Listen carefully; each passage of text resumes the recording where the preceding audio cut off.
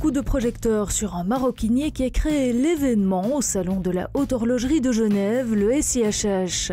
Hermès s'est installé dans le palais des expositions et des congrès genevois avec un luxe chic, discret et tout en imagination. Son fer de lance en matière de haute horlogerie, le design.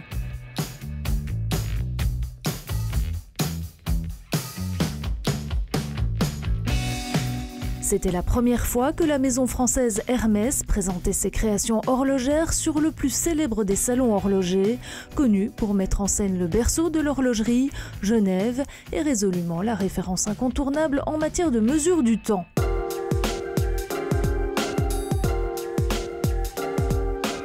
La spécialité d'Hermès crée l'émotion. Et il faut dire qu'avec le design de son stand et de ses vitrines, tout en mécanique et poésie, Hermès a réussi son pari. C'est Denis Montel de l'agence d'architecture intérieure RDAI qui a imaginé pour Hermès cet écrin sophistiqué et contemporain. Au cœur de la scénographie, l'installation de l'artiste néerlandais Levi Van Velu a créé l'étonnement, tout comme les neuf animations interactives des vitrines carrées en écho au carré de soie Hermès. De l'étonnement plus encore avec ces nouveaux modèles de montres.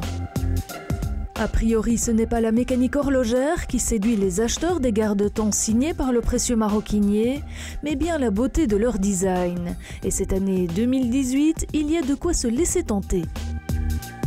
Hermès a été une des premières marques non horlogères d'origine à décider de s'implanter en Suisse, au départ pour créer, développer et assembler ses montres, le reste étant alors sous-traité.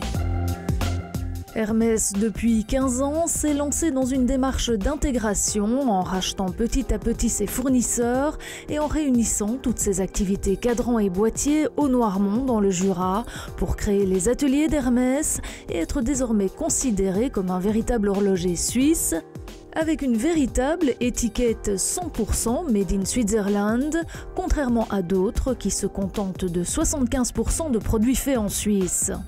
Les 14 différents métiers de la maison Hermès nourrissent plus que jamais leur créativité respective. Le point fort du design Hermès, c'est de ne pas travailler avec des designers horlogers, mais de faire appel à des designers d'architecture ou d'autres produits Hermès.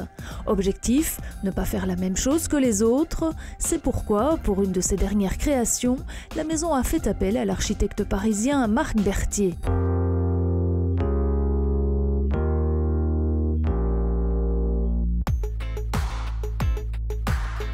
La carré H est la montre Hermès comme on l'attendait. Une montre d'architecte et une montre signature qui ose les joies de la géométrie, pour reprendre une expression de Le Corbusier. Créée d'abord en série limitée en titane en 2010, elle revient dans une version en acier plus casuelle et plus dynamique, voire même sportive, équipée du H 1912 qui est le mouvement maison. Le détail typographique, le zéro, vient s'intégrer dans le graphisme, tout comme l'aiguille des secondes qui rappelle l'esprit du balancier et globalement du compteur.